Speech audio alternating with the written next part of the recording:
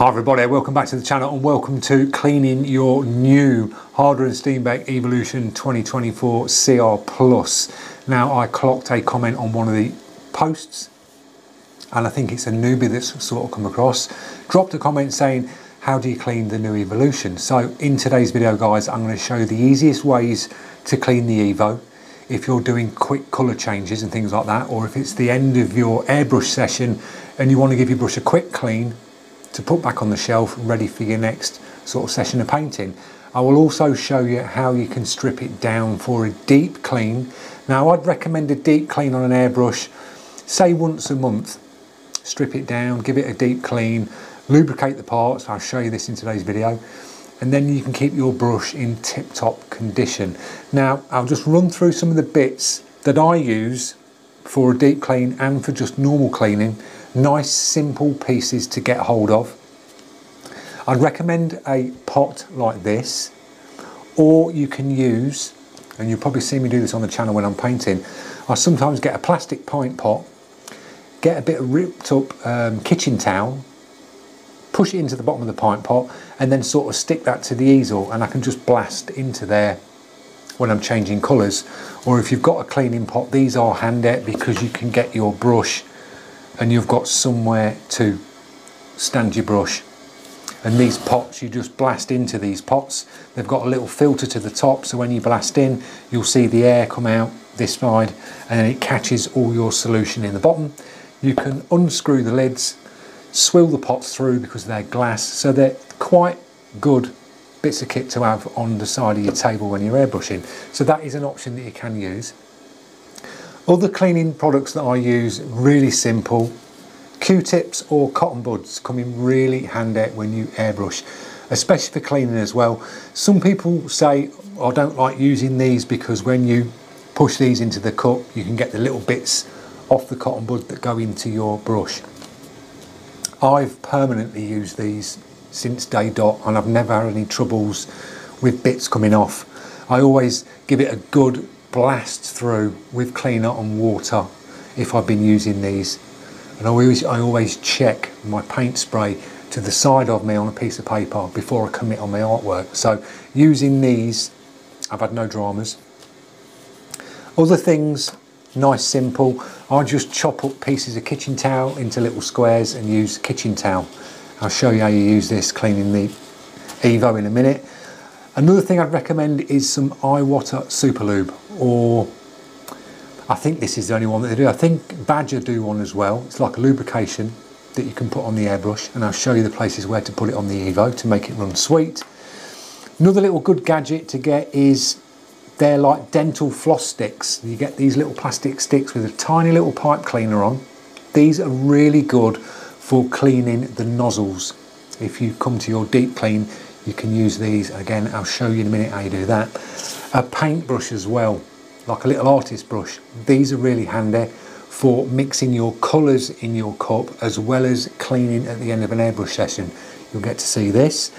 And a little stainless steel or glass pot that you can put some cleaner in on your deep cleaning session that you're going to do. You can drop and I'll show you, you can drop some of the parts of the airbrush into cleaning solution and you can leave them to soak if you've got any built up paint. So nice and simple bits to pick up, not expensive. Cotton buds are around a pound a box for like 200, so it's really cheap for those. You can get the dental sticks. I've seen these for like eight for a pound and these last really long, so they're good bits of kit to have. Kitchen roll is anything from a pound a roll and I cut it into squares so it lasts a long time. So you just need small little squares like that. Artist brush really cheap. Hobby stores you can pick an artist brush up for. Cleaning pots these vary in places from around 20 pound down to about 10 pound you can get these for. So it's not really going to break the bank to source the bits to keep your airbrush in tip-top condition. So this is the brush that we are going to be cleaning today it's the new Evolution CR Plus by and Steenbeck. So I'll move you in a bit closer and we'll run through some cleaning tips. Right guys, you've got your Evo dirty and you need to clean it. Now I'm going to show you a couple of ways to clean this. If you're cleaning it sort of in between colours. The easiest way to clean this brush in between colours is clip your airline in like that 25 psi in your brush. Now if you're painting and you you want to change through colours get some water. You've used your colour up and you've got say black a little bit of black left in your cup. Drop a little bit of water in like that. Get your artist brush and just agitate the paint that's left inside your cup with the artist brush, spin it round at the bottom of the cup like that, and then blast through. Blast all the excess through like that, and just do that a couple of times until you see the cup and down inside the bottom of the cup become clean. You can get a piece of kitchen towel, roll it up like that, push that inside the cup. I usually just push it in put my thumb on it and twist like that and that will clean your cup. That's the sort of fast way I will clean if I'm painting and I'm changing colours. Will be a blast through of water, little bit of kitchen towel, twist, do that a couple of times, a couple more drops of water, blast through, and that's how I'd clean it as I'm painting. And sometimes I'll just do that at the end of a painting session as well, but just make sure you're blasting through clear. So if you finish your painting session and you've got say a red or a yellow or a green that you've used last, just do that quick method with the artist brush and a piece of kitchen towel. And then when you've done that, drop a little bit of more, drop a little bit more water in. And just to make sure that your brush is running clean, spray the water that you've got in your brush against some white kitchen towel and you'll just see how well your brush is clean because if it's nice and clean you'll be spraying just clean water like that. If you've got any paint left over that will start to colour up on your kitchen towel. That's just a quick way of checking to see how clean your brush is. So I do that after every paint session. If you keep on top of it like that, that's good enough. It really is on these brushes to clean them and keep them working well. Now if you were to leave paint in it, say you left a couple of drops of paint inside the cup overnight and it was a little bit congealed inside, you're then going to have to start thinking of stripping it down. Now these brushes are the easiest to strip down. You've not got to overthink it. It's like Lego. You just clip the bits back together. It's nice and simple. So if I had paint, a little bit of paint in there left overnight, First thing I would do, I would take the back of the body off. Take that, move it to one side. Now there are two ways you can take the needles out of brushes. Some people say you should always take them out to the front. Me personally, I've always pulled them from the back. But you can take these needles out either way on these brushes. It's entirely up to you which way you go about it. I'll show you both ways. So this is the way I'd do it first. I would then undo the chuck at the back and slide my needle out.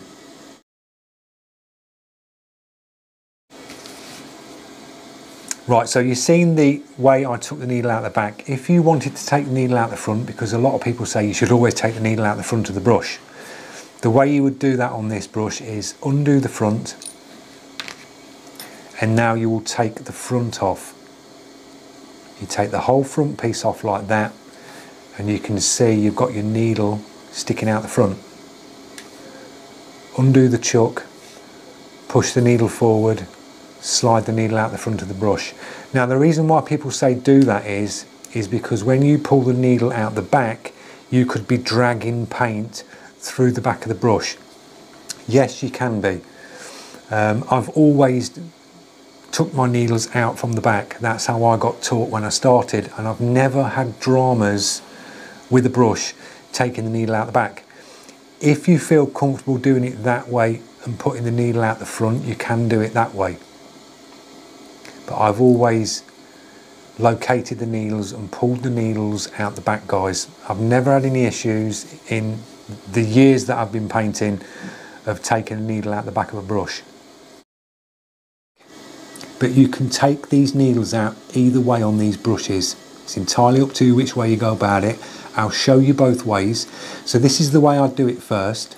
I would then undo the chuck at the back and slide my needle out.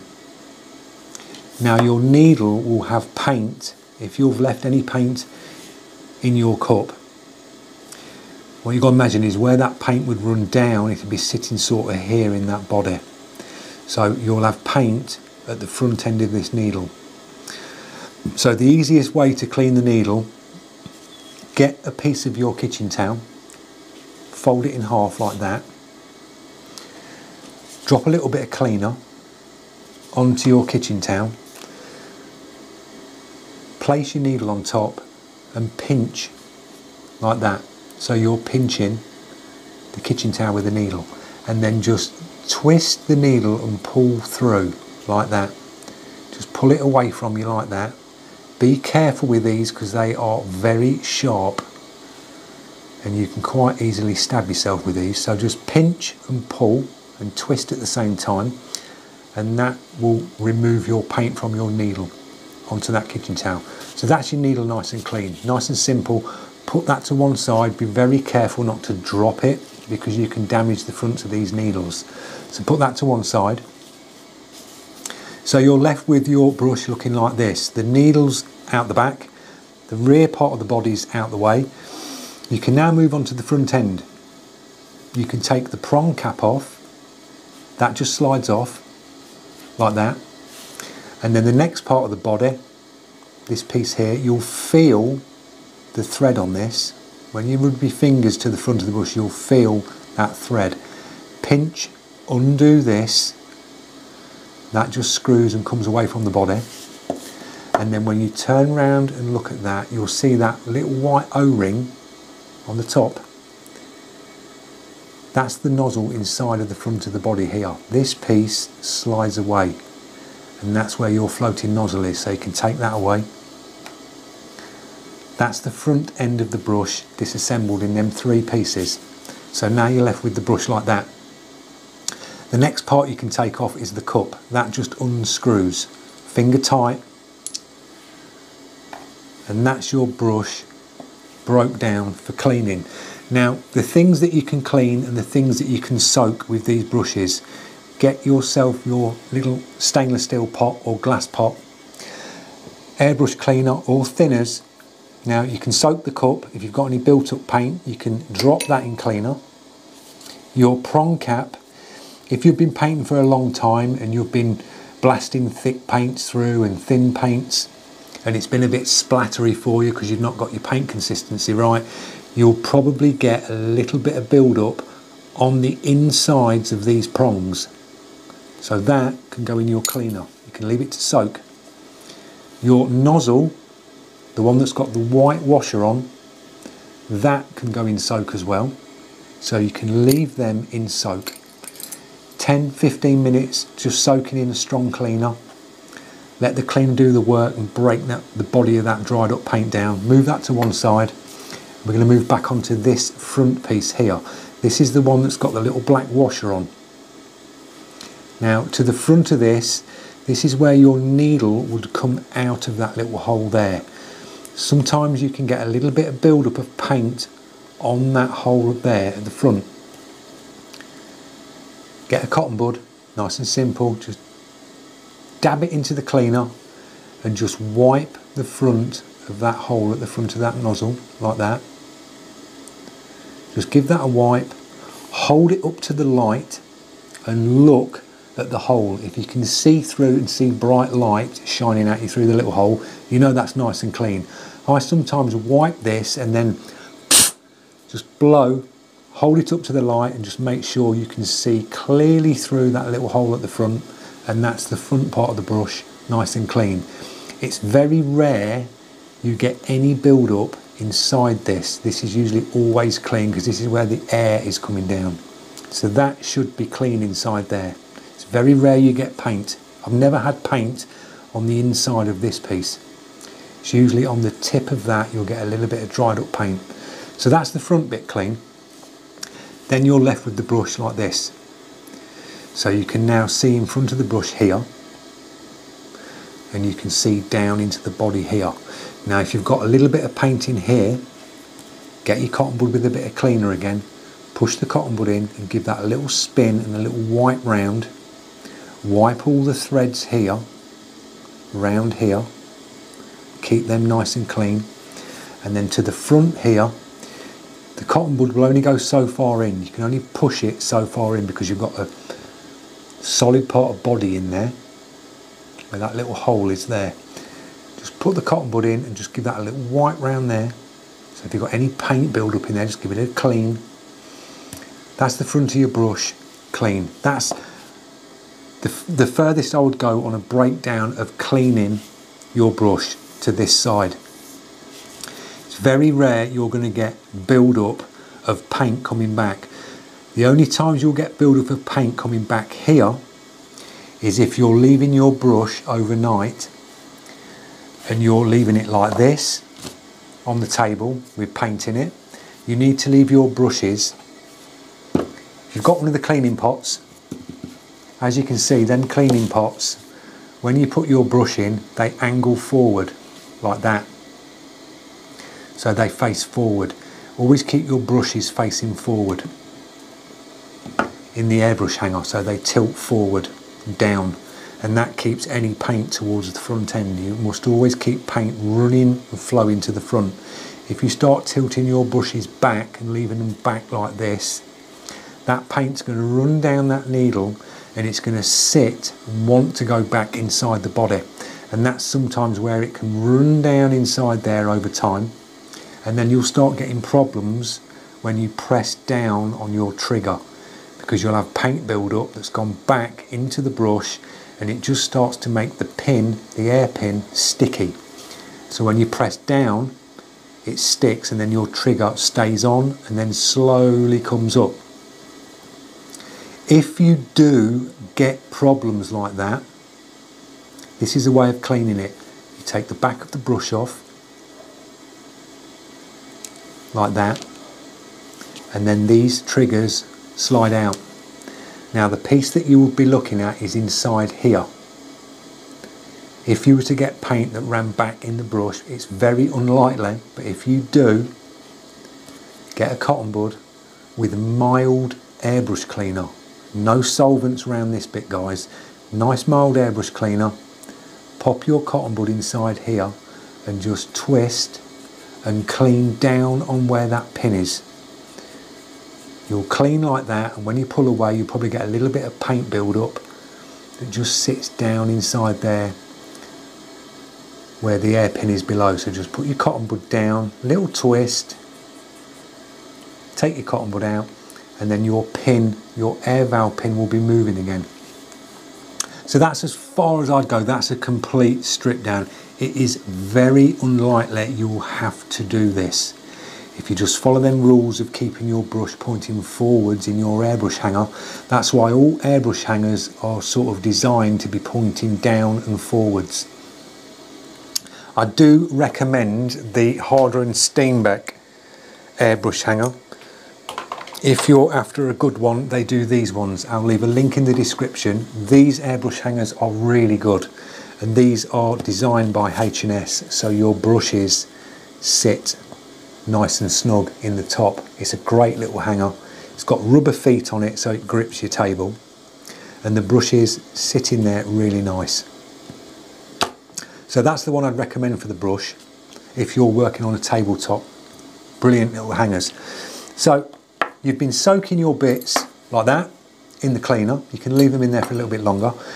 What I'll do is I'll show you where you can put the lubrication on the brush. So grab a little bit of your lubrication like that. To the back part of this, you can see that little twisty thread. When you turn that, you can see that there. You can drop a little bit the Iwata lube on them little threads, just going round there like that. And what that will do is, when you're moving your trigger in your brush, your, the mechanism on this brush is doing this. When your trigger's moving backwards, this is doing this. So A little bit of lubrication on here keeps that piece silky smooth. So a little bit there. You can drop that back on the body so that just screws in like that. And just screw that until it stops. Finger tight guys. Nice and simple. Just nip that to there. And then to put your trigger back in before you put your trigger back in you can put another bit of lubrication. This bar slides up and down on that trigger assembly there. So a little bit of lubrication on that piece there on that little channel. Same on the other side. And that makes that nice and silky smooth, like that. To put your trigger in, pinch the chuck at the back, pull and pinch your fingers together. So you'll feel the tension in the spring as you pull it back. Get your trigger and put the trigger in so the gold half moon bar sits to the back of the brush. That will just drop in, let go of you the back piece, and that's your trigger in. Nice and simple. So you pinch there, pull back, just do that again for you at the side view. Pinch and pull, take your trigger out, push your trigger in, let go of the back, and that's your trigger in.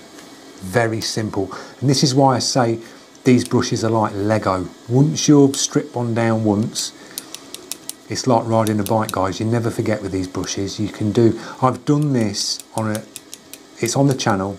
I did a blindfolded challenge on a Infinity. And I blindfold myself and I'll show you how you strip the Infinity down blindfolded and put it back together. That's how easy I've always said these brushes are. So that's where you put your lubrication on that bit of trigger there on the back and that makes that piece silky smooth Putting it back together, you're basically doing the reverse. So clean the bits that have been in soap, just give them a little wipe over with a kitchen towel. So that's your cup. Drop your cup back on. Finger tight, just a little twist.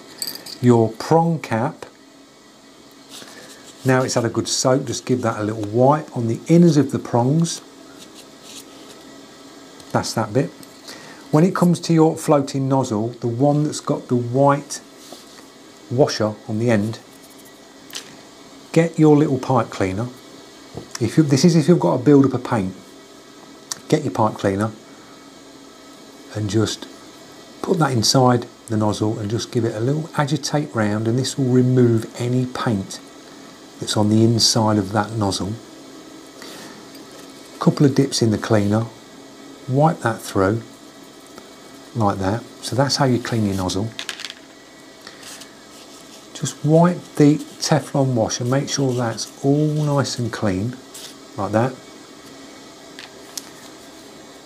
Get the front piece, the one that's got the black washer on, and then slide that one into it. That just locates down like that.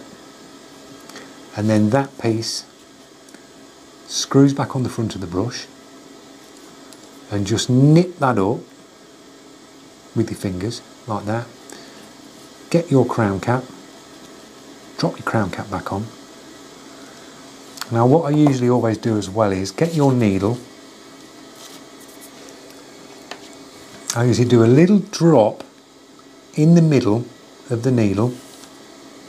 So you've got a little drop of the super lube there, pinch and just wipe that on the needle from the back to about halfway down like that. And then locate your needle in.